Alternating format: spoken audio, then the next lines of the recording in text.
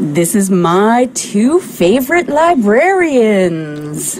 See how I'm trying to make it fancy? I see. Uh, I'm Denise Corey. And I'm Chantel Taylor, and today we are talking about books versus movies. Okay. So it's going to be like a, a cage match. Yeah. I, like 95% of the time, I prefer the book to the movie. Yes, I would agree. However, I will say, my graphic novel experience, I read a lot of comic books. So I read a lot of superheroes. I read Black Panther. I read some Wonder Woman. I read some Superman etc., etc. And I prefer the movies over the superhero comic books, I must say. The thing with the superhero comic books is that they they've been going on for years and Ever, years and years, yeah. and they have all these different timelines and storylines, alternate and- universes and Yeah. things being reset, and it's it's endless and it's really overwhelming. So if you mm-hmm. talk to someone who's a comic book person, like Adam that we work with, he's been reading comic books obviously since he was a kid, and he knows well this is related to this and this is this, and he can Yeah. predict things that are happening in the movies and da da da. Like it's like a whole Yeah. But I do like that they often make those movies for people who haven't been following Yes. it all that time. And you have to. You have Yeah. to make them for the core readers who know the backstory front and back and who can pick up all the little Easter eggs that maybe you and I can't. But you also have to make it for the people who've never seen it because people's other significant others are coming along or kids are coming to the movies and they don't know, haven't read comic books for 20 years. Yeah. So let's talk Harry Potter. Oh, Harry Potter, the books are so much better. Audiobooks especially. The audiobooks read by Jim Dale. He has a lovely voice. Although, again, Adam, he lent me his British version that is read by. Stephen Fry. Thank you, Stephen Fry. And those are fantastic as well if you can get a hold of the Yeah. British ones. But th- the books are just so much better because you can really delve into the character's mind. That's the best thing about it. Yes. And for all the fanciness, like I remember going and seeing the first movie and the staircases mm-hmm. moving and the pictures and the candy. Your mind just does such a fantastic job of filling in those gaps and making those people and creating that world that the movies were great, but the books are better. Well, certainly with Harry Potter, I have in my mind the way Quidditch is played is so much more dramatic than it, they can show on the movie. Exactly. Yeah. Some other ones that I have enjoyed the movie as much as the book or more is Pride and Prejudice. Oh, I mean, I know I should love reading Jane Austen, but the movie, well, let's talk the movie Keira Knightley versus the awesome miniseries with Colin Firth, and uh, the actress's name has just gone right out of my head. Colin Firth as uh, Mr. Darcy. Darcy. Yeah. And the thing about that miniseries is it's almost word for word. Mm. From like it really, it's not an hour and a half that they're trying to cram a big story into.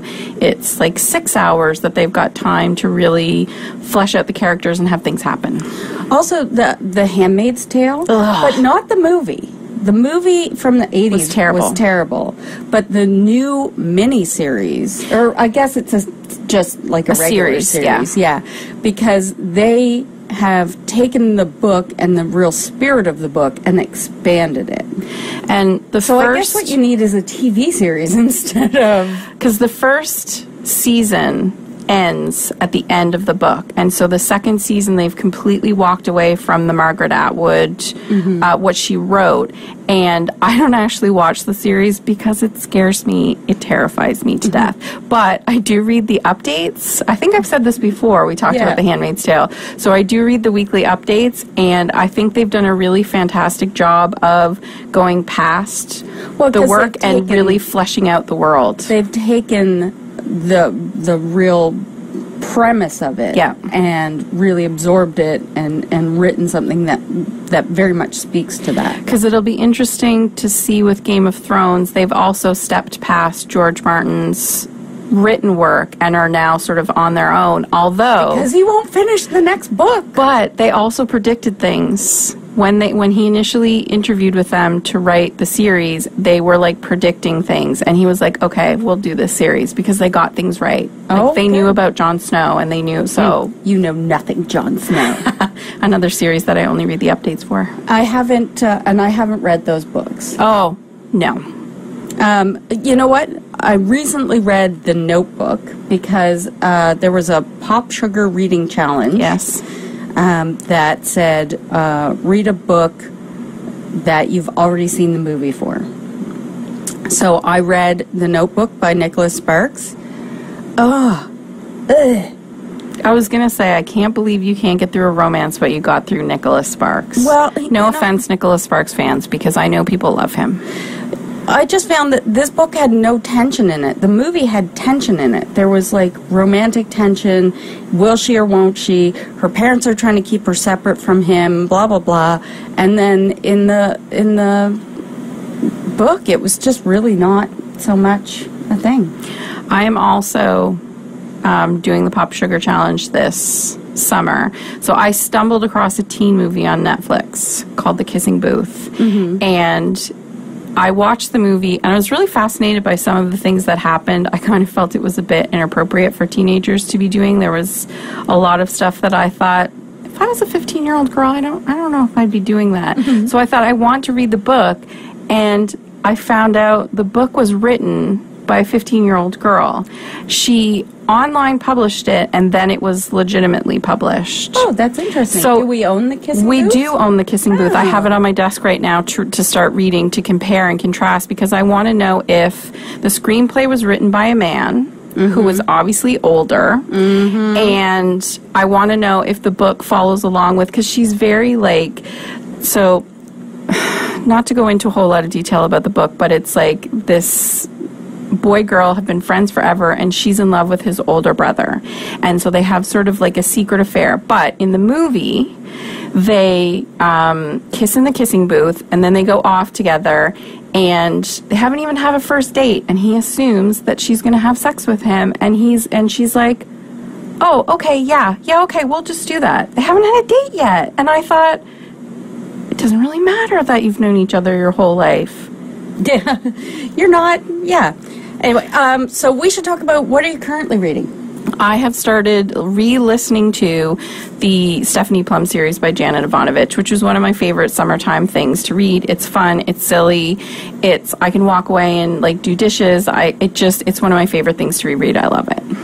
I'm uh, I'm reading something that really fits in with our topic today, and that is uh, "The Girls in the Picture" by Melanie Benjamin, and it's fictional, but it's about Mary Pickford uh, and Frances Marion. So Mary Pickford was one of the very early stars of movies. She was huge she was huge. and Canadian. Yeah, yeah, but she was referred to as America's sweetheart. Yes, she was. And Frances Marion was an early um, film writer, director, and these two women were very powerful in Hollywood at a time when women, because this is the early 1900s, Because she like 1912. because Mary Pickford and Charlie Chaplin and someone else they started RKO Studios. Uh, and uh, Douglas Fairbanks, Yes. they started United Artists. Oh, okay, United, Mm-hmm. right? And she was like one of the first women studio heads, Oh, yeah. if not the first. She was the first woman studio head. So this is fiction, but I love reading historical fiction about real people, and then sometimes I Those I, movie star ones are really popular. A Touch of Stardust by I can't remember her name. Oh no, but that was interesting. Yeah. Yeah, and that was um, Loretta Young, Mm. I think. Yeah. Uh, so don't forget to join us this summer for Cumberland Reads. Hashtag Get Caught Reading. If you're already participating in one of our summer reading clubs, you're automatically part of Cumberland Reads, and we've got them for kids, for young adults, and for regular adults. Young adults, sometimes known as teens. Yeah. Um, also, you can take part by tagging us on social media. We're on Facebook, Twitter, and Instagram. Make sure you put the hashtag Get Caught Reading, and you can find more information about it on our website. And I won't be here next week. I'm going on vacation, so you have a good time. Uh, and next week we're going to have a special guest with us. Um, Not with us. I'm going on vacation. well, with me. Fiona is going to, Fiona Watson is our youth services librarian, so I think we'll probably be talking about some children's books maybe. Oh, well, you have fun with that. I'm going to go read on the beach. Bye. Bye.